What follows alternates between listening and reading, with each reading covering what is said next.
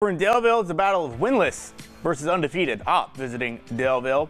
Opp's Justice Baldwin dropping back, throwing this one 36 yards to Ori Enthal Hines for the 36 yard score.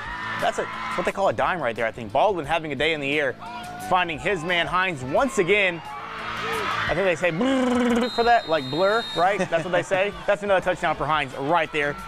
We're going to see Baldwin once again. Is it going to be his third touchdown of the night? Let's see.